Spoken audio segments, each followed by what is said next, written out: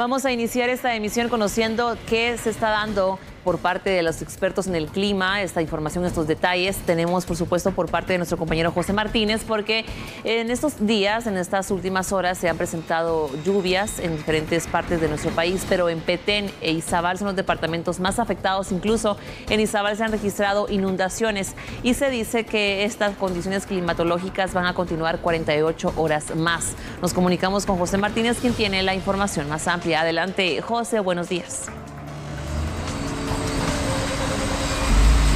Buenos días compañeros en Estudios Centrales, en efecto estamos en la sede de pronósticos del ICIBUM en la zona 13 de la ciudad capital, lluvias intensas durante el pasado fin de semana, inundaciones en el departamento de Izabal, pero ¿qué nos espera para los próximos días? Esta mañana me acompaña Jorge Chinchilla de esta sección de pronósticos. Jorge, muy buenos días, por favor coméntenos acerca de esta situación, ¿qué nos espera para las próximas horas? Claro que sí, el acercamiento de este frente frío favorecido que las últimas 24 horas tenemos lluvias muy intensas en el área norte, San del Norte y el del país.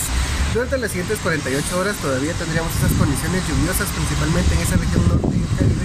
Teniendo en cuenta esto, los acumulados de lluvia son bastante intensos y esperamos de que hasta mediados de semana las condiciones comiencen a, modificarse en esta región, teniendo eh, menos humedad y menos nubosidad y teniendo un aumento nuevamente de las temperaturas en esa región. En el área central y en el área de la eh, sur podríamos llegar a tener todavía velocidades de viento aceleradas, principalmente en la ciudad capital y en los lugares montañosos donde tendríamos cercanos a los 50-60 km por hora y posibilidad de que las temperaturas sigan estando bastante bajas en el exterior debido a la sensación térmica que seguirá estando bastante baja. ¿Hasta cuándo podría ser esto? Eh, las temperaturas seguirán estando aproximadamente hasta el fin de semana debido a que nosotros esperamos de que la velocidad del viento siga eh, estando bastante acelerada. Ya a más o menos entre el día jueves y viernes podríamos empezar a tener un ascenso en las temperaturas, sin embargo recordemos de que cuando la velocidad del viento comienza a descender, las temperaturas mínimas son bastante bajas y esperamos que la posibilidad de que las temperaturas lleguen a 0 grados en área del occidente es bastante alta, ya aproximadamente a mediados de semana en adelante. Muy bien, Jorge, muchas gracias por atendernos. Jorge Chinchilla del INSIUME, usted puede observar pues cómo los eh, cielos están parcialmente nublados en un valle en la ciudad capital a esta hora de la mañana. Por imágenes de Héctor García, reporta José Martínez, regresamos a Estudios Centrales. Buenos días.